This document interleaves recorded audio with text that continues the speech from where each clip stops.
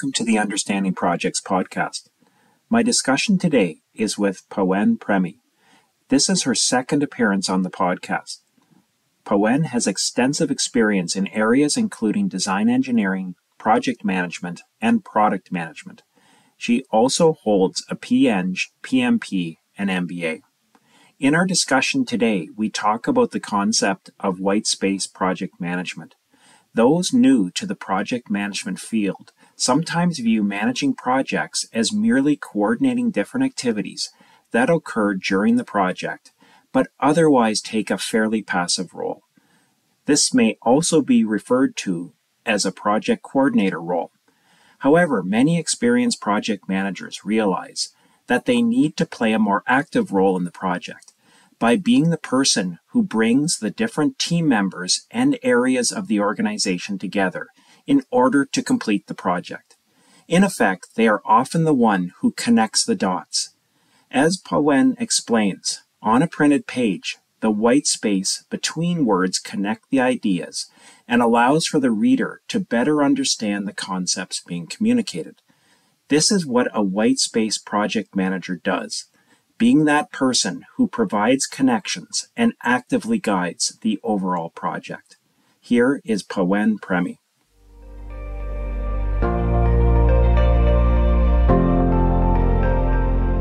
So, a term that um, that uh, is uh, present in our discussions. We've had talks about the concept of white space project management.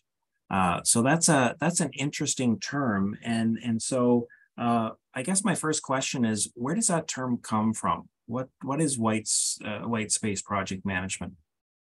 So the in earlier texts, um, I don't know if you have ever seen uh, some of the religious books. They used to have all the letters connected together. So not just the letters, but the words were also connected. And one of the reasons behind it was uh, you know, the binding of the book required, you know, a lot of effort. So they wanted to fit as much possible on a book. However, very soon after that, people realized that then reading becomes very difficult. And it was, you know, chosen few who could read the text.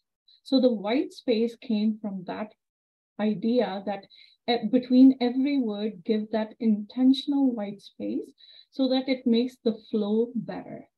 And this is how white space management or white space project management also came into the being where sometimes between different tasks, you want that white space either to bridge uh, the two tasks that are happening, or uh, it could be unintentional where um, there is a gap and you need to do something about it. So that's where white space concept comes in. So when we have the textbooks, we have different lines or different words or different paragraphs, and each seem to have slightly different white space, and each one serves the different purpose. I love hearing about the history of how terminology comes from. I wasn't aware that uh, early texts um, crowded their words together. That must have been very tough to to try to be able to read that. So I could I, that's interesting the way um, it it came into being. So um, so then what? How does white space like what what what is the what what is the the transition then to white space project management? How does that what what is the relationship to that to the textbook or the book uh, situation? So similar to textbook where you have um, white space between the words. So it could be two different tasks. So let me take an example where um, you have your server-side designer, DevOps team member.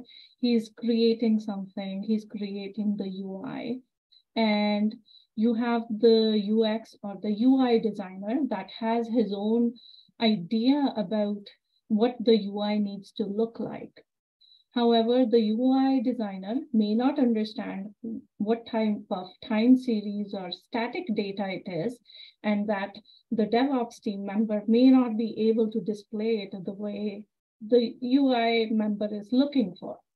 So there is a gap of either knowledge or there is a gap of understanding or somebody who needs to bridge that gap. And white space project man management comes into play where a project manager comes into that role and he has to, he or she has to own that space, that gap to help bridge the understanding of one person to the next person. And it could be not just the person, it could be the whole team, or it could be stakeholders, or it could be the project task as well, right? So it could be different levels where white space is not being managed and you need to get in there and manage it. Yeah, so that is that is so interesting. Um, that you're right. I mean, when you when you um, you know put these tasks onto a Gantt chart and draw an arrow between them, it's kind of seems very clean and precise. And well, this person does it, and then it moves to that person. And it seems so um, you know efficient to do it that way, but it's not real life. In in real life, like you say, they there might be misunderstandings between them. They might not be communicating effectively, and so there is this sort of um, you know kind of other work that's going on that is not acknowledged is that and, and, so it's interesting that a you know a term has been put on it and a and a role that somebody is is managing that white space. It's not if if left to be accidental it probably wouldn't happen. Right right. And white space projects also exist where the company may not have put in resources or they may not have thought about that project uh, or that uh, process that is needed and they may not have the resources for it. It could be completely unplanned. And then you as you are working on the project you realize i'm missing this component right, right. an experienced organization might have a solution already for it but you may not realize while you during the process. And that's when you have to manage it. I don't have the resources. I don't have the time to put this in somewhere. How do i manage this? And where do i get my resources from? Where do i get my funding from? And how do i fit it into my time? Maybe i'm hiring external contractors to get it done right? So it right. could be white space project as well something that the company didn't plan for but we want to venture out and see is there an opportunity there. Right. So as a you, you mentioned there's various ways to to address the white space but one way is is through a person or a project manager who will manage or address that white space. Will will fill it support i don't know if you fill it but you you um, you know manage that white space to make sure that things are moving effectively so, you know, I assume that that is the type of role that a project manager could do. Absolutely. And I think I had previously mentioned that sometimes when we read these different project management books and we read about how the project manager's role is not about hands on work, but for white space project management, I repeatedly find that you have to be that person who's able to own that gap, at least for the short term until you find a resource to bridge that gap, right? right. So, right. Um, as a project manager, you need to know what your end-to-end system is, what the different needs are, and how you are going to make sure each aspect is covered. Yeah, this is this is actually from a you know um, it, it's interesting because uh, in in my estimation there are you know, a couple of different camps of, of project managers, you know, maybe more than two, but at least two main ones, which are the, you know, the ones that the project managers that will define the plan and then sort of step back and just manage the the over unders the what's late what's what's on time uh sort of sort of thing more the coordination aspect. And then you have the camp which is the roll up the sleeves and you know uh, get things done, you know, ensure that the connections are made, which I would then assume that would be the white space. The, the white space project managers would would fit into that. And so it, so it's kind of liberating to have a name for that for that group. So it's it's actually it's actually good because I would see myself belonging to that camp in terms of my project management experience. Um, and it also kind of um, in my experience there was often there was often this this awkward moment with with customers or sponsors where you kind of said okay here's all the resource costs of the developers and the analysts and the you know qa and so on. And then here's the project management time. And then often you get the the looks kind of like well what what's that? What's that 15% you know that overhead you know, or whatever the percentage was. There, there's different schools of thought of how much project management, but it's not zero. It's not, it's not tiny. It's not, it's not, uh, it's not just a, a few days or a little bit of time. And so, oftentimes there was this needing to convince um, customers or project sponsors as to the value of that.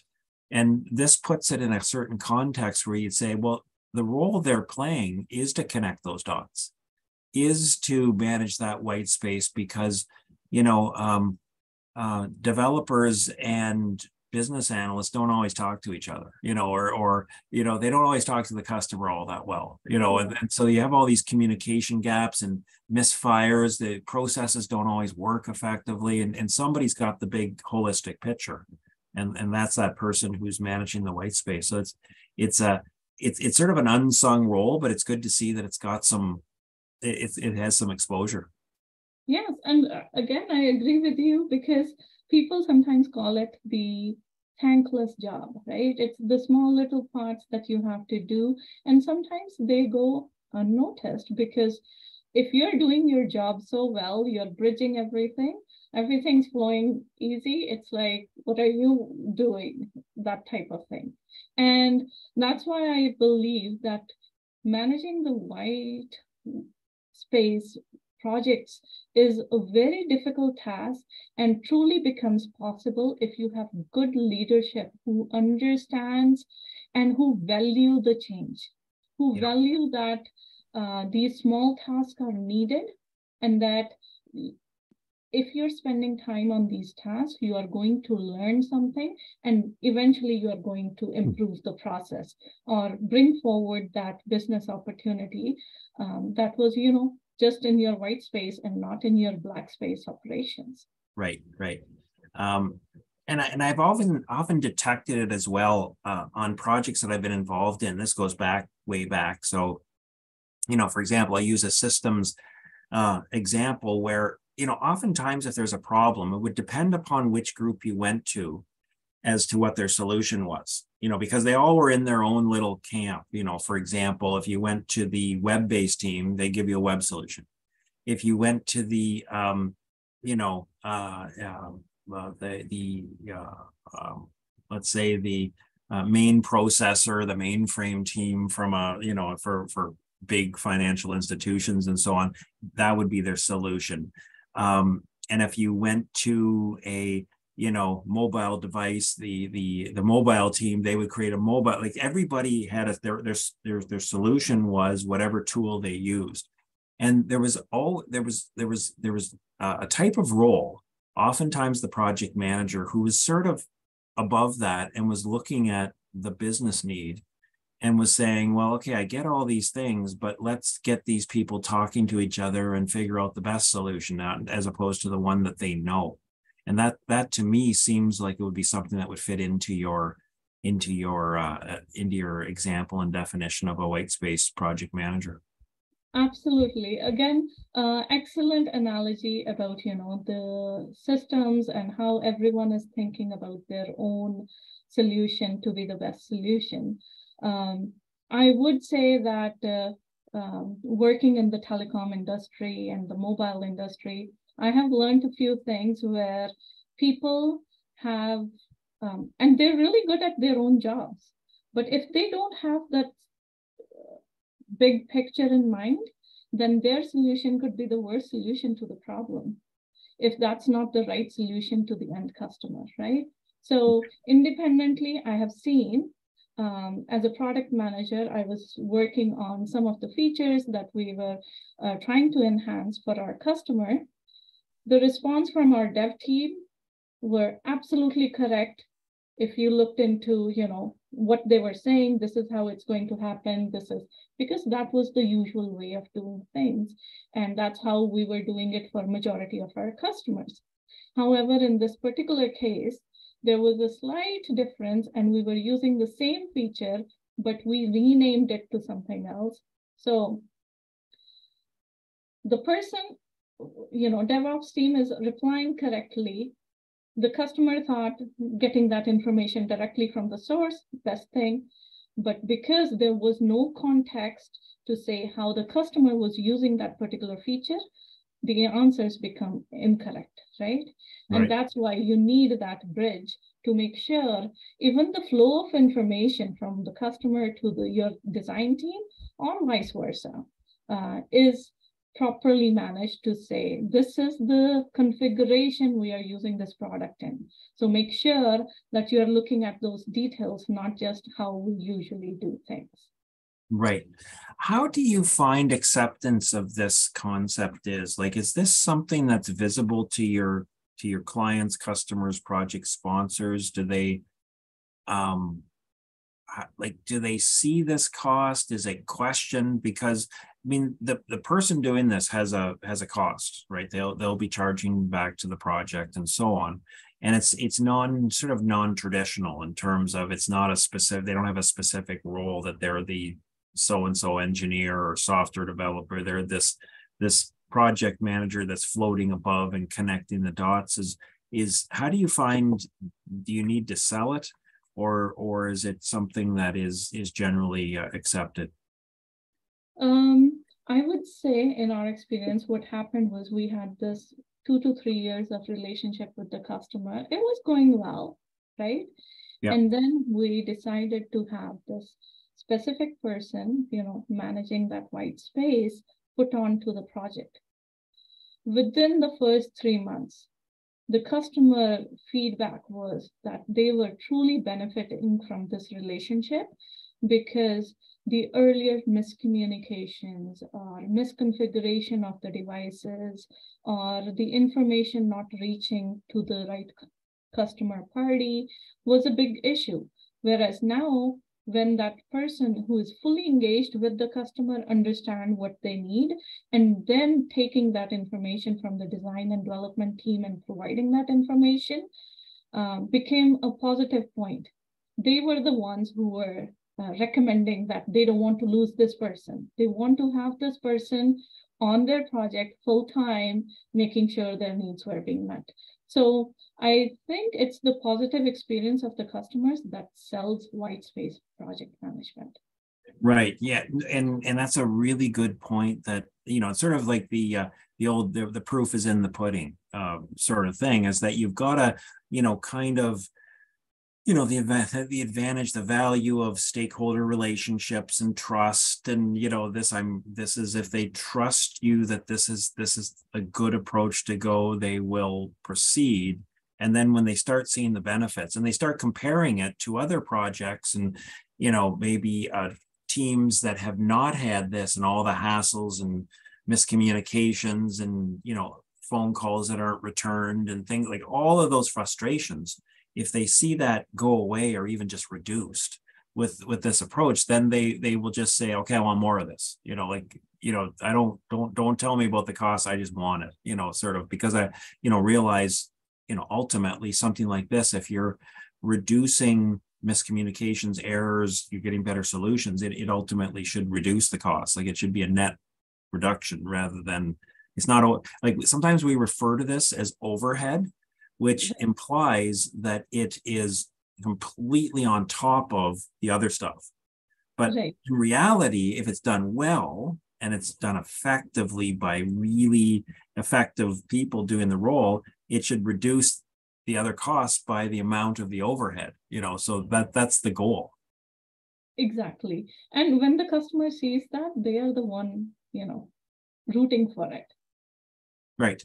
And and I just I look at it just from a, you know, part of it's me is that when I was managing projects, I didn't want to just be, you know, to to you know use the pushing a pencil, you know, to say, okay, uh, what how'd you do, you know, hey, team member, how'd you do in this task? Oh, you're a little late. Okay. And then you're a little ahead and then just updating a project schedule. And that that's all I did. Doesn't seem like much of a role. Like it's not to, I, I'm not trying to, you know, there, there, there is validity in, in, um, you know, there's a, it's a, it's a, it's required that we keep track of where things are, but that can't, in terms of my own opinion or my own career, that was never enough. That I wanted to get involved, understand, be able to help shape decisions, help get three or four people in a room and hammer out a decision. That's real value added to, to do what's needed.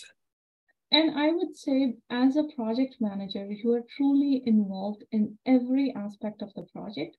You are meeting with the customers, you are talking to the stakeholders, you are providing updates to your leadership teams, you are working with the development team to make sure the tasks are happening on the time.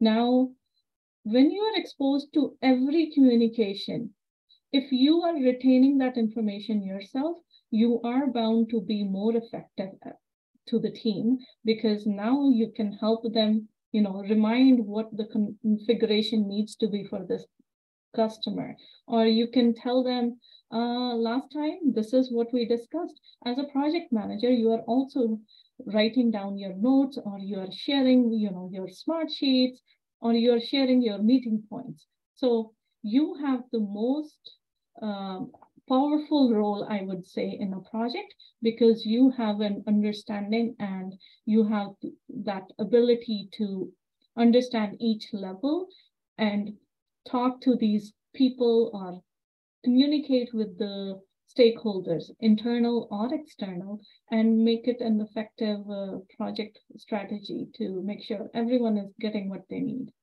Yeah, and, and I think that's why it's it's it's not an easy role because just what you described there like just even just if we if we went back through the the, the two or three sentences you just described there would be you know a high level of communication skills required. You'd have to have good stakeholder management and empathy. You'd need a good sense of the business strategy. You need to understand you know be able to understand your customer and your client and the business. You need to be able to talk to technical resources you know one minute and business you know senior management the next you know so you need a wide range. So it is a highly skilled role uh, but it is one that is very rewarding um, you know to be in. And it's also very rewarded in terms of of of compensation and opportunity and so on and experience. So it's so it's certainly a it's certainly a, a you know a uh, it's a good career path for people to to think about. And you know it, it's also just something that's it's hard to replace. Like I, I found i found that this is a type of a role that's difficult to outsource. It's difficult to like it, it's like you say once customers once um, once organizations detect it they want to keep that person. Like they they, they you know it's it's not everybody can do it. So there's sort of a oh okay. Keep that person happy you know like that that person gets it's the person who gets things done you know because they they they find solutions to to issues. And i would say the person who can stick into this role is truly a good communicator. Right. that's the only way you can survive. You need to have that respect of your fellow workers as well uh, because if you have that understanding um, you can direct the project in the right direction and if you lack in that ability to communicate what was said and what needs to be done, then you have lost your effectiveness right then and there. I would say uh, to your point that uh, it is a very rewarding um, career option. Also, I want to say if you like being challenged every day, it is that role because every single day I go to work, I feel like it's a new day. It's different set of tasks that i'm doing from the previous day and it could be completely different right? And it's uh, one day i'm meeting the customer trying to gather their requirements and the next day i'm deep involved with the developers telling them no no no i want this in my feature i want this to be done for the ui so it gives you that ability to explore whichever way you want to go to and uh, get that system level understanding of things.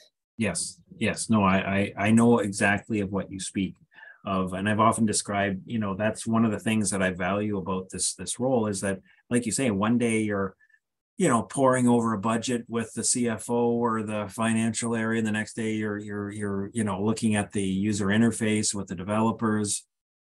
And the next day you're, you're talking to a, to a senior manager in terms of, you know, the, the uh, the overall strategy of the project or of the organization. So it's so it's it's a it it's good for people that want that challenge and that diversity in in what they do in their in their everyday life. So so that's in everyday life or career. So um, anyways, this has been a great discussion. I love the terminology of white space project management. It's it's uh, I, I think really descriptive and indicates a really key role and a, and a really good and and really good aspect of of project management that that really highlights the value of it you know that, that it it it itself is a big part of what project managers and project management does.